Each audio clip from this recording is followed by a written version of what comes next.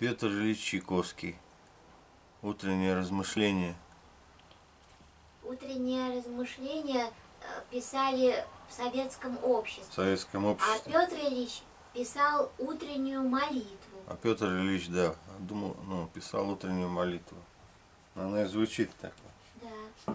А там очень похоже на песнопение церковные. Такие лады.